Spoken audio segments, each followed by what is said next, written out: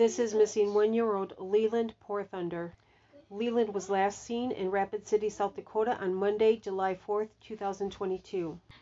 When Haley Shea Lakota, his non-custodial mother, got a visit with him and she took him.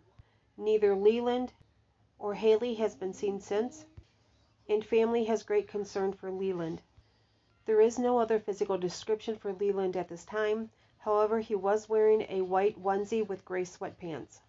If you have seen Leland Poor Thunder or Haley Lakota, you are asked to contact your local police or the Oglala Sioux Tribe Department of Public Safety Dispatch at area code 605-867-5111 or Homona Dubray at area code 605-685-1145.